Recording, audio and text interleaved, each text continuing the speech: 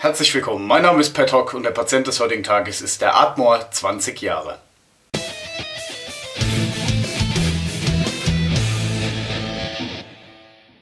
In einem meiner allerersten Videos habe ich äh, damals einen Atmor verkostet und zwar den Traditional Cask. Der hat mir damals vor langer, langer Zeit für das kleine Geld ganz gut gefallen. Den gibt es mittlerweile nicht mehr. Nichtsdestotrotz hat sich die Brennerei Atmor über die letzten Jahre ein überschaubares Standardsortiment erarbeitet, zu dem dieser 20 Jahre alte Single Malt Whisky dazugehört. In der heutigen Zeit sind 20 Jahre für einen Single Malt Whisky ein stolzes Alter. Oftmals äußert sich dieses ja, stolze Alter in einem stolzen Preis. Man muss tatsächlich sagen, der liegt etwa bei 90 Euro, ist verhältnismäßig günstig für das hohe Alter. Ja, wenn ich mir mal so die Flasche an sich anschaue, fällt dieses Grau sofort ins Auge, denn bei der Standard Range ist die Farbgebung vom Etikett eigentlich weiß. Hier bei diesem älteren Kollegen hat man es dann in Grau gehalten. Wenn ich mir dann den Rest des Etiketts anschaue, dann steht hier einiges drauf und einiges steht nicht drauf. Und ich habe die Erfahrung gemacht, dass gewisse Argumente oftmals bei den Destillen zu Geld gemacht werden. Ist so ein zusätzliches Kaufargument. Deswegen schreibt man es drauf und wenn gewisse Angaben Angaben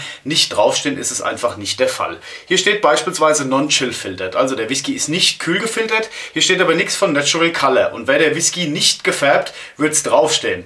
Es steht nichts drauf, also gehe ich von der Färbung aus. 49,3 Volumenprozente Alkohol, hier steht nichts von Cask Strength, also gehe ich auch nicht von einer Fassstärke aus. Was hier drauf steht, Vintage 1996, also der Jahrgang, und der reifte in First Fill Ex-Bourbon Fässern und Ex-Isla Fässern. Bei der Farbe gehe ich davon aus, dass auch die Isla Fässer Ex-Bourbon waren und da kann man jetzt mal schauen, welche Destillen da in Frage kommen, was ist im Konzern noch so zu Hause Beaumont und Lafroig gehören eben zum selben Konzern wie Atmor, das wäre Beam Santori. Ja, alles dazu gesagt. Nicht lang schnacken, Kopf in Nacken.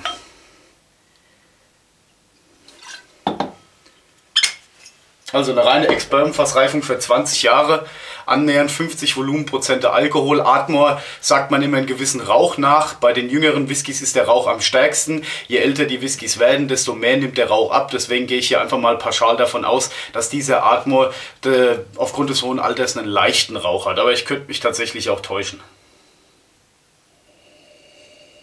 Ja, ich täusche mich. Der hat einen wirklich noch sehr intensiven Rauch für 20 Jahre. Also mit so viel Rauch habe ich tatsächlich nicht gerechnet. Und der Rauch hat so einen richtig fetten, öligen, rußigen Touch. So kohlig. Und der Rauch dominiert das Aroma. Er ist aber nicht ja, zu vergleichen mit jüngeren Whiskys. Ich hatte beispielsweise schon äh, 5, 6, 7, 8-jährige Atmore. Ähm, die hatten auch einen Rauch, wobei der sehr verhalten im Hintergrund lag. Also der hier ist wirklich für einen Atmore mit diesem Alter sehr, sehr rauchig. Hinten dran mit ja, ein bisschen guten Willen und Fantasie. Also da muss man tatsächlich schon den Rauch ausblenden. Hat man, hat man diese Fruchtigkeit von Nashi-Birne. Also Nashi heißt ja eigentlich Birne, also von Birne-Birne, diese Nashi. Ein Hauch von Würzigkeit ist da und die Eiche liegt da sehr aromatisch hinten dran. Und der gefällt mir. Der ist relativ ausbalanciert, hat wirklich einen intensiven Rauch, der sich über die 20 Jahre schon so ein bisschen in komplexere Aromen abgebaut hat. Und blind hätte ich den wahrscheinlich nicht zu Atmo gelegt. Schwierig, wo ich ihn hingelegt hätte, aber wahrscheinlich nicht zu Atmo. So, jetzt rieche ich mal an dem Glas, den habe ich schon von der Viertelstunde eingeschenkt. Ah, da kommt jetzt tatsächlich eine gewisse Zitrusfruchtigkeit dazu, also der riecht sich unheimlich frisch für 20 Jahre. Blind hätte ich ihn wahrscheinlich auch nicht so alt getippt. Aber der hat schon ein gewisses Volumen. Er ist auf der einen Seite nicht zu einfach, aber auch nicht zu komplex. Und ich finde es schön, dass man das hier im Preis weitergegeben hatte. Mit 90 Euro finde ich, ist er für die 20 Jahre absolut bezahlbar. Slunge.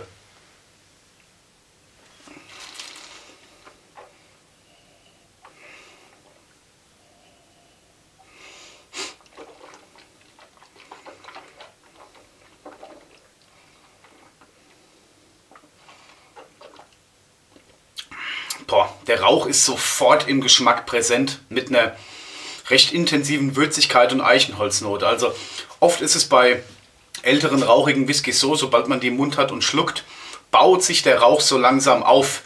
Bei dem ist es gerade andersrum. Der Rauch ist sofort da und baut sich dann nach hinten ähm, so langsam wieder ab und äußert sich dann im Abgang in der intensiven Eichenholznote, die nicht bitter ausfällt. aber der Rauch ist so richtig ölig, rusig, aschig hinten raus. Ist echt so, als würde man einen hölzernen Aschenbecher auslecken. Was sich jetzt nicht schön anhört, aber in Kombination äh, zu diesem Whisky hier durchaus angenehm ist. Der Abgang ist lang, man hat wirklich viel Asche und viel Ruß im Abgang, was man mögen muss. Ich mag es, deswegen gefällt er mir ziemlich gut. Auch so ein Hauch von Frucht hat man jetzt noch im Mund. Eine gewisse Süße ist auch da, also der hat schon Komplexität. Die man vielleicht jetzt nicht sofort riecht, der braucht halt einfach einen Moment Zeit. Karamell auf jeden Fall auch als Süße da. Und die Frucht, die switcht jetzt wieder so ein bisschen, geht jetzt eher weg von dieser Naschi hin zu so getrockneten Apfelscheiben. Also jetzt, würde ich ihn jetzt verriechen, würde ich sagen, es ist vielleicht ähm, ein älterer, etwas schwach gereifter Bowmore Whisky. Und ich bin mir ziemlich sicher, dass die Fässer hier von Bowmore kommen, denn er kriegt jetzt auch so einen leicht ledrigen Touch. Ja.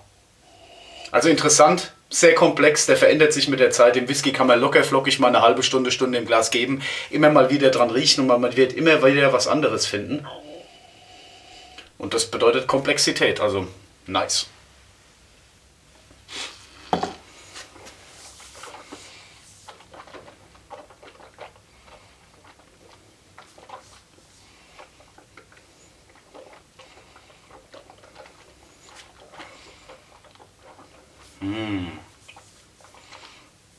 Es ist schön, man hat schon wirklich direkt den Rauch im Mund, wenn man ihn im Mund hat. Schluckt, der Rauch ist sofort präsent, eine gewisse Würzigkeit ist da, eine gewisse Eichenholzfracht zusammen mit dem Rauch, macht den Antritt sehr intensiv. Der Alkoholgehalt ist toll, der gibt dem Ganzen Dampf. Der Rauch flacht dann über den Geschmack bis zum Abgang hinweg langsam ab, äußert sich dann letztendlich in so einer Aschigkeit, in so einer Öligkeit. Bisschen Eich ist da, bisschen Würze ist da, unterschwellig Frucht, die Apfelringe, ja, vielleicht auch die Naschi. Und hinten raus ist dann eine schöne Balance da, also Abgang sehr stark. Eine gewisse Süße kommt dazu in Form von Karamell, Arsch, arschige, arschige Eiche, arschig wäre nicht so nice. Und ähm, so eine gewisse Würzigkeit. Also unheimlich komplex.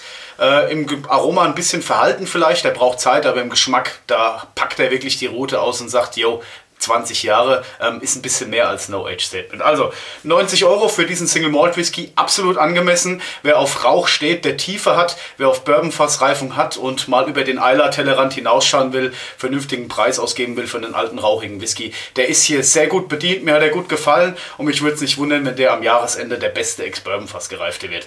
Das soll es gewesen sein. Ich bedanke mich fürs Zuschauen und würde mich freuen, wenn ihr meinen Kanal abonniert. Haut rein!